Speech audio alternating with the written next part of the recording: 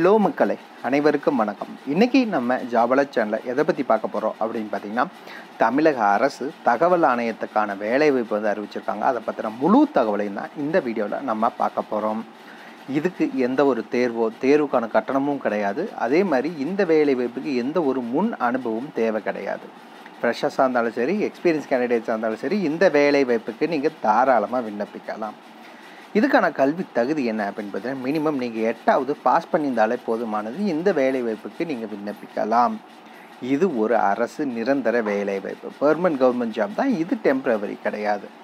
இதுக்கான ஆரம்ப சம்பளம் எவ்வளோ அப்படின்னு பார்த்தீங்கன்னா பதினையாயிரத்தி எழுநூறுலேருந்து ஐம்பத்தி எட்டாயிரத்தி நூறுரூவா வரைக்கும் ஒரு மாதத்துக்கான சம்பளம் வழங்குறதா சொல்லியிருக்காங்க.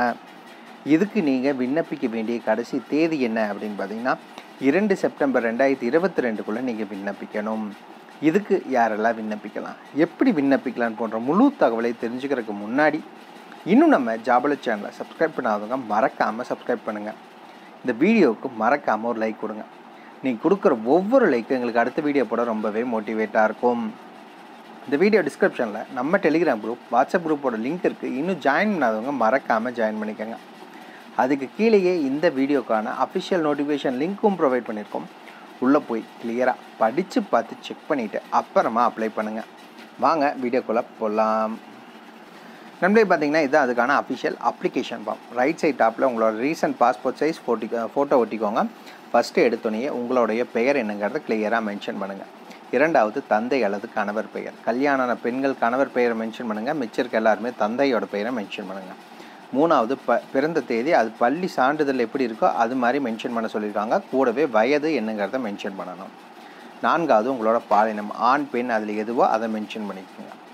வகுப்பு மற்றும் உட்பிரிவு BC MBC DNC SC others இதில் அதர் இதில் உங்களோட கேட்டகரி இல்லைன்னா நீங்கள் அதர்ஸை டிக் பண்ணிக்கோங்க. உங்களுடைய நிரந்தர முகவரி என்ன அப்படிங்கிறத மென்ஷன் பண்ணுங்கள் வித் பின்கோடோட மென்ஷன் பண்ணணும். அதுக்கடுத்தது உங்களோட கைபேசி எண். கிளியராக மென்ஷன் பண்ணுங்கள் ஏன்னா நாளைக்கு நீங்கள் இன்டர்வியூக்கு ஷார்ட்லிஸ்ட் ஆகிட்டீங்க அப்படின்னா உங்களுக்கு கால் பண்ணுவாங்க இல்லை மெசேஜ் பண்ணுவாங்க. ஸோ அதை கிளியராக மென்ஷன் பண்ணுங்கள் எட்டாவது நீங்கள் திருமணம் ஆனவரா இல்லையா அப்படிங்கிறத மென்ஷன் பண்ணுங்கள் ஒன்பதாவது உங்களோட கல்வி தகுதியை மென்ஷன் பண்ண சொல்லியிருக்காங்க. பத்தாவது இப்போ நீங்கள் ஏதாவது ஒர்க் பண்ணிகிட்ருக்கீங்க ஏதாவது இல்லைன்னா அதுக்கான டீட்டெயில்ஸை மென்ஷன் பண்ண சொல்லியிருக்காங்க. பதினொன்றாவது ஆதரவற்ற விதவைகள் இந்த வேலைவாய்ப்புக்கு விண்ணப்பிக்கிறீங்கன்னா அதை மென்ஷன் பண்ணுங்கள் பட் ஆதரவற்ற விதவை அப்படின்னு கவர்மெண்ட்டு கொடுத்த ப்ரூஃப் வந்து உங்கள்கிட்ட வேணும்.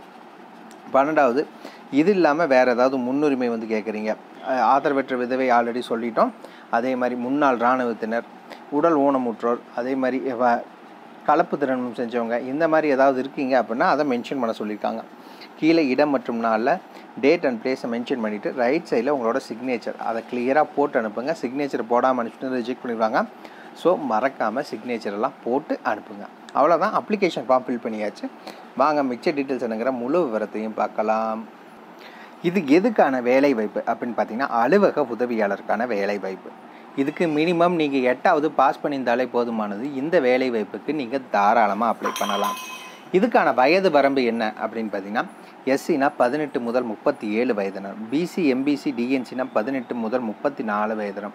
மிச்சம் இருக்க கேட்டகரி இதில் மென்ஷன் பண்ணாதவங்க நீங்கள் ஜென்ரல் டேனில் அப்ளை பண்ணிக்கலாம். பதினெட்டு முதல் முப்பத்தி இரண்டு வயதுக்குள்ளே இருக்கவங்க விண்ணப்பிக்கலாம்னு சொல்லியிருக்காங்க. இதுக்கான மாத சம்பளம் எவ்வளோ அப்படின்னு பார்த்தீங்கன்னா மினிமம் பதினையாயிரத்தி எழுநூறுலேருந்து ஐம்பத்தி எட்டாயிரத்தி நூறுரூவா வரைக்கும் ஒரு மாதத்துக்கான சம்பளம் உங்களுக்கு வழங்குறதா அறிவிச்சிருக்காங்க. இதுக்கு ஆட்களை இன்டர்வியூ மூலியமாகவும் எடுக்கலாம் இல்லை ரிட்டன் டெஸ்ட் ஏதாவது ஒன்று மூலிமா இதுக்கு தேர்ந்தெடுக்க போகிறதா அறிவிச்சிருக்காங்க. இதுக்கு எந்த ஒரு எக்ஸாம் ஃபீஸோ ரிஜிஸ்ட்ரேஷன் ஃபீஸ் இல்லை அப்ளிகேஷன் ஃபீஸ் இந்த மாதிரிலாம் எதுவுமே கிடையாது. இதுக்கு நீங்கள் எப்படி அப்ளை பண்ணணும் அப்படின்னு பார்த்தீங்கன்னா வீடியோ டிஸ்கிரிப்ஷன் மற்றும் கமெண்ட்டில் நம்ம வெப்சைட் லிங்க் கொடுத்துருக்கோம். ஃபஸ்ட்டு கிளிக் பண்ணி உள்ளே போய் எல்லாத்தையுமே கிளியராக படிங்க. கீழே எண்டுக்கு போனீங்கன்னா அஃபிஷியல் நோட்டிஃபிகேஷன் லிங்க் கொடுத்துருப்பாங்க. அஃபிஷியல் நோட்டிஃபிகேஷன் மற்றும் அப்ளிகேஷன் ஃபார்ம் லிங்க் கிளிக் பண்ணி டவுன்லோட் பண்ணிக்கோங்க. ஃபஸ்ட்டு நோட்டிஃபிகேஷனை கிளியராக படிங்க. எல்லாமே ஓகே அப்படின்னா அதுக்கு அடுத்தது அப்ளிகேஷன் ஃபார்ம் லிங்க் கொடுத்துருப்போம். அதை கிளிக் பண்ணி டவுன்லோட் பண்ணிக்காங்க. ஆல்ரெடி நம்ம சொன்ன டீட்டெயில்ஸ் எல்லாமே மென்ஷன் பண்ணி சிக்னேச்சர் போட்டு உங்கள் ஃபோட்டோ ஒட்டி அனுப்புங்க. கூட என்னென்னலாம் நீங்கள் வச்சு அனுப்பணும் அப்படின்னு பார்த்தீங்கன்னா educational certificate experience address proof ID proof date of birth proof community certificate இது எல்லாத்தையுமே வச்சு நீங்கள் ரிஜிஸ்டர் போஸ்ட் மூலிமா மட்டும்தான் விண்ணப்பிக்க முடியும். வேறு எந்த ஆப்ஷனும் கிடையாது. எந்த அட்ரஸுக்கு அனுப்பணும் அப்படின்னு பார்த்தீங்கன்னா செயலாளர் தமிழ்நாடு தகவல் ஆணையம் எண் பத்தொம்போது அரசை பண்ண இல்லம் phone Nandanam Chennai six triple zero three ஃபைவ்ங்கிற அட்ரஸுக்கு நீங்கள் ரிஜிஸ்டர் தபால் மூலிமா விண்ணப்பிக்கணும். இதுக்கான லாஸ்ட் டேட் ஆல்ரெடி சொன்ன மாதிரி இரண்டு செப்டம்பர் ரெண்டாயிரத்தி இருபத்தி ரெண்டுக்குள்ளே நீங்கள் இது விண்ணப்பிக்கணும். அதுக்கு மேலே போயிடுச்சுன்னா கம்பல்சரி ரிஜெக்ட் பண்ணிடுவாங்க. ஸோ எவ்வளோ சீக்கிரம் நீங்கள் அப்ளை பண்ண முடியுமோ அவ்வளோ சீக்கிரம் அப்ளை பண்ணிக்கோங்க. இதுக்கான அஃபிஷியல் நோட்டிஃபிகேஷன் லிங்க் கொடுத்துருக்கோம். ஃபஸ்ட்டு கிளிக் பண்ணி உள்ளே போய் எல்லாத்தையும் கிளியராக படித்து பார்த்து செக் பண்ணிவிட்டு அப்புறமா அப்ளை பண்ணுங்கள் படித்து பார்க்காம அப்ளை பண்ணாதீங்க. இதுக்கான அஃபிஷியல் அப்ளிகேஷன் ஃபார்ம் லிங்க் கொடுத்துருக்கோம். இதை கிளிக் பண்ணி டவுன்லோட் பண்ணி நீங்கள் அப்ளை பண்ணிக்கலாம்.